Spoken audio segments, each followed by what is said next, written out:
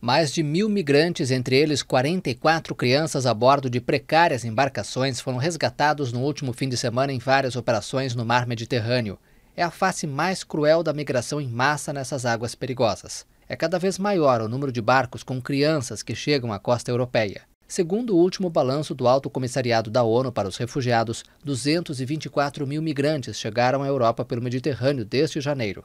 Estima-se que mais de 2.100 pessoas morreram na travessia. A maioria chega de países como Síria, Afeganistão, Somália, Nigéria, Iraque e Sudão, fugindo de guerras e perseguições.